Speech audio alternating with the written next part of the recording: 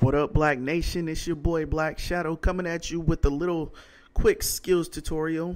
And the skills that I'm going to teach you is while you were juggling. And first, before we get started, you're going to need a five star skiller. So go ahead, and get you a five star skiller of your choice, and let's hit the practice pitch.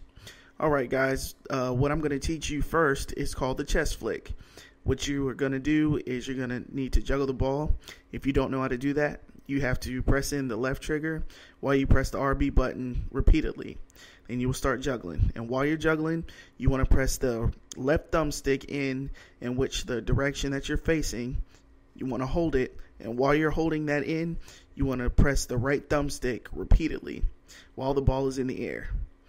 And to do the Touzani around the world, what you want to do is the same it's the same thing as the chest flick, but before or as you're flicking the ball up in the air, you want to press the right thumbstick around in a clockwise motion, clockwise 360 motion.